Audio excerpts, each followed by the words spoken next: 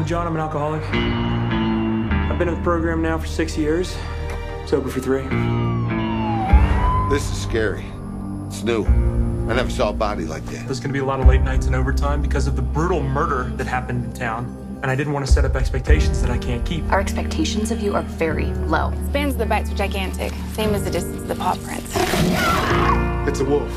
Or maybe it's a werewolf. No, let me just make this perfectly clear. There is no such thing as werewolves.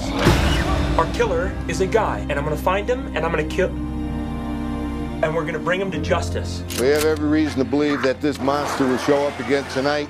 I won't ask you to pray with me because of the goddamn lawyers.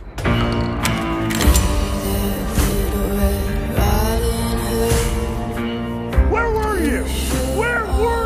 John, none of you talked to me once, okay? They're saying it's a wolf. No, it's a man. When do I get to be right about something?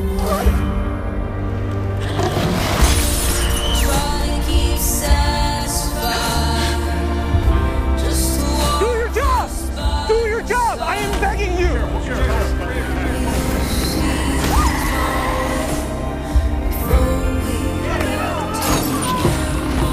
You want to be sheriff?